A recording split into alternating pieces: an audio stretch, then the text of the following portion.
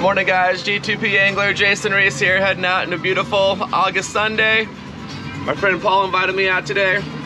With us we've got Mike. Bill and Mike back here. And we are heading out to do a little bit of running gunning for Mahi today. So going out to see how Paul's team puts a uh, day fishing together here offshore. Paul's new 34 foot Jupiter is an absolute gorgeous fishing machine. And the guys were nice enough to share some knowledge around using these outrovers to, uh, to catch Mahi out here. So stick around for some pro tips.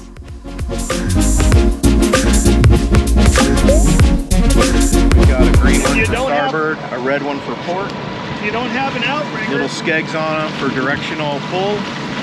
And the manufacturer says you connect the bait right to here.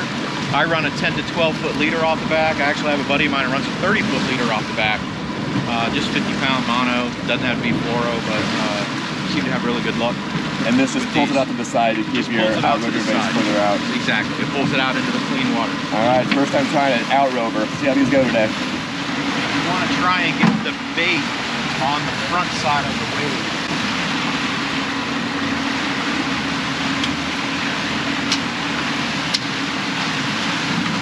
running a, um, a six line spread this morning. So we've got one one planer with a strip and then two rovers out here, which is plastic birds that pull one side to the other. And um, we have a combination of ballyhoo with skirts and uh, and some strips out there. So six lines, we're going to empty the water. Keep it going for a few seconds, see if we get a uh, double. Yep. All right, first fish on. But it doesn't Here's the birds right here. Right here, Paul. All right. First mahi on the rover. Alright. Little guy, we need to clear lines. The lines. little guy. No, I don't think you need to clear lines, but might need to go to flight item. Alright, I've only got one in gear, just keep the line straight. We have it. You want to gavel? No, you're gonna lift it No. if he's still You on. lift it. Oh yeah, he's Still still on? on. Yeah. So I'm gonna reel up to the rover and then walk forward, Mike.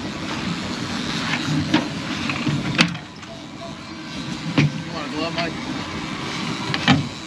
Mike, you want gloves? Now.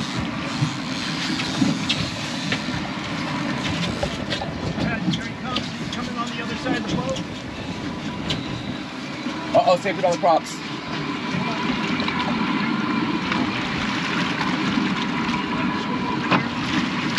There you go, pull him in now. You got him. It's Oh, all we're good. He's got him. He's right here. All right, keeper, first one in the boat. All right, another fish on the rover. Opposite side this time. That's a good one. Well, if you guys are showing me some of these rovers, if we've got two bites so far, both on the rovers, opposite Bill? sides. Yes, sir. We're gonna bring that up, we probably want to clear Go forward, Paul. Go forward. forward Paul. You walk forward, Hold on, hold on, hold on, hold on, hold on. I'm get a hook in my hand. There we go. What No, is it's that? a cuda. Oh, it's a. Bummer. Spanish kingfish.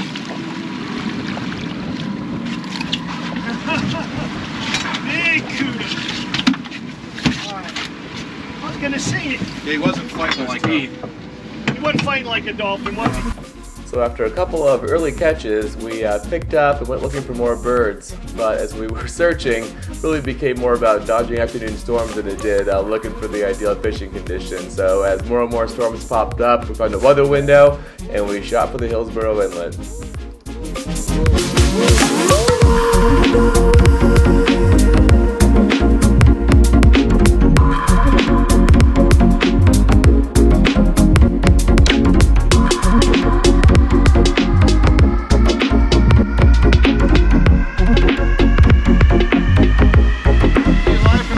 Team little uh, misunderstanding with the weather forecasters today. Supposed to be rain and flat seas. We had big seas and no rain till the end of the day. So we're heading back in. We didn't get skunked. We got a mahi out of the deal. He's nice. Nice, pretty good for sandwiches or mahi fingers. Very glad to have uh, Jason Smith with us today, guest angler here on board Team Damapino and uh, host of the Googan the Pro G2P channel. Very glad to have him with us. And uh, we only got one mahi, one barracuda of it, but it's a good day on the water. Thanks for watching with us. Thanks, Paul. So fun day. Um, nice to get the invite to come out here. Boat is gorgeous, by the way, Paul. This is uh, Jupiter 34, tons of space, tons of fishability. Um, for a little bit of a rougher day, like really comfortable ride too, even going 35, 40 knots in uh, rough seas out there. So we're heading in. I think the um, lessons learned for me were definitely around these rovers that this team uses. So these guys deploy these rovers on both sides of the boat. They're pre-made to go one direction or the other. They uh, look kind of like a, like a boom bird, kind of slapping around the water to create some interest. So it kind of pulls mahi up from underneath weed lines or structure. And uh, they, they chase that commotion and wind up getting hooked up. So that was a cool thing to kind of see in action. I'm gonna go buy a pair of those. I recommend you guys do the same if you guys are out here. I'm sure they're deadly on tuna too. And highlights are just spending a, spending a day with a couple of great anglers on the water out here. We got chased and only by some storms. And we're gonna go back and clean the fish, rinse the boat up, and uh, prep for the, uh, the next outing, guys. Thanks for watching. We're fishing next weekend with JJ and his neighbor Pat. And while you're waiting for that video, please check these other great fishing videos from GTP. Thanks for watching, guys.